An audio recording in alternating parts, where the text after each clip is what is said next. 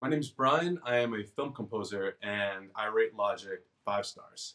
For more reviews like this, click below. Some of the other software that I was considering was uh, software like Ableton, um, you have FL Studio, uh, Cubase. Um, these are all pretty standard, even Pro Tools, which is a standard um, in the industry. Um, but I decided on Logic because as um, the UI is actually very intuitive and it's very easy to understand and I'm a very visual learner.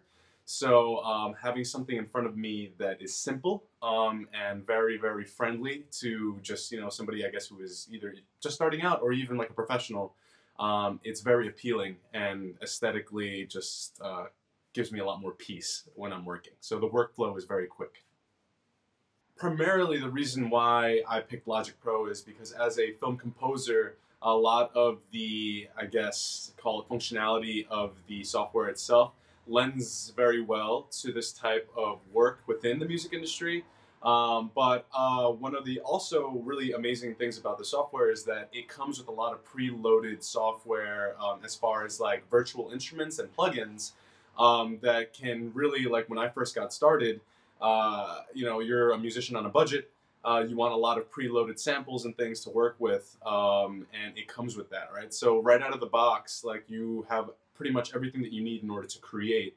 Which, uh, if you're a musician, you know, like your primary focus is creating and being creative. So um, it really, really kind of takes the uh, the guesswork out of how to begin starting music, and then it's easily upgradable once you have firm understanding of the software that you would like to have.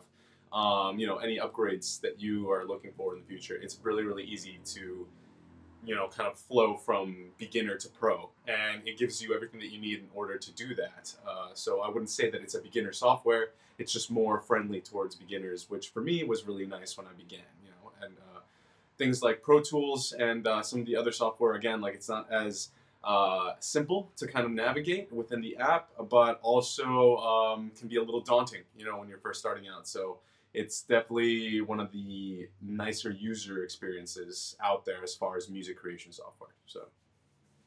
As far as simplicity and onboarding the software, um, Logic Pro was literally, uh, you know, you open up the software and it explains how to you know do everything. You know what I mean? Every button has an information like uh, like a kind of like almost like a tutorial. So in that sense, it was very easy to learn the software from the get-go, but also it was easy to take project files that were pre-existing and then you know just figure out how to use them within the software. So it's very self-explanatory, and that lends well to switching from a different software.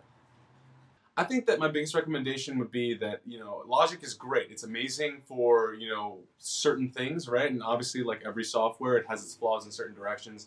My biggest recommendation is yes, it's great software, but make sure that you kind of read up a little bit into what you know facets of the music industry it it lends itself best towards and then make an educated decision based on that. Like I said, you know, for like people who are composing films and doing more orchestral uh, production. It's definitely an amazing piece of software for people who are producing live.